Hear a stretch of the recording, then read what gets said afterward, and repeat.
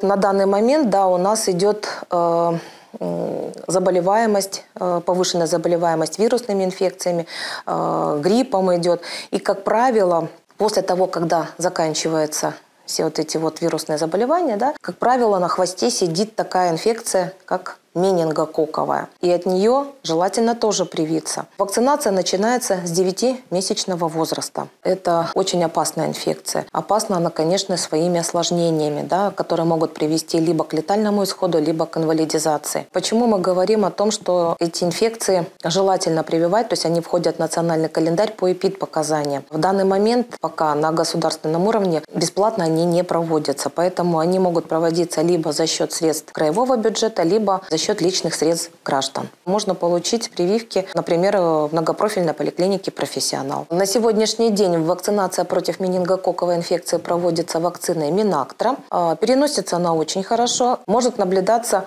а, как общая реакция, это и повышение температуры, и слабость, и вялость. Может наблюдаться и местная реакция, такая как покраснение, уплотнение или болезненность месте ведения. Обычно все эти реакции течение двух-трех дней, то есть максимум там 48 часов, и все они проходят самостоятельно.